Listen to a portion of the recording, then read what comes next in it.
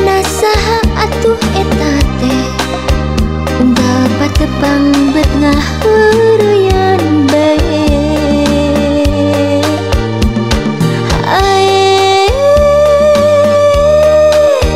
Happy kasebut